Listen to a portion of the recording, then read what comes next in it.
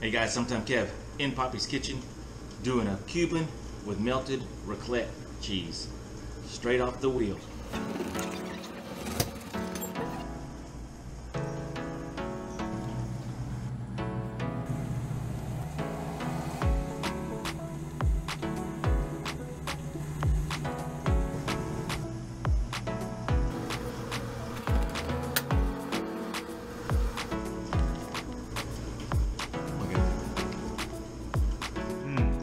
Flavors in the sandwich are delicious. The pickle, the fresh bread, the ham, and most of all, that melty, soft, delicious raclette cheese. It's similar to a Swiss, um, a little stinky, a little sweet, but just creamy and delicious.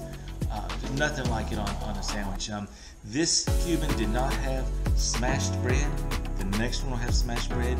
This this one was an Americano Cuban, and. Hey guys, this was such a fun video to make. This cheese, I got a six pound block of it sent to me in the mail, and it's raclette cheese. It's it's creamy, um, kind of like Swiss cheese, only it melts way better than Swiss. It's a little bit pungent, stinky, but it's a little bit sweet, but it's just delicious. And I melted it, and then I scraped it off onto this Cuban sandwich. It was amazing.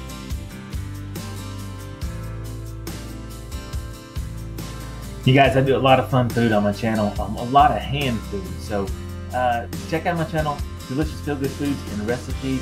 Subscribe, give me a thumbs up, leave me a comment, say, hey, you like it, you hate it, just whatever. Let me know something.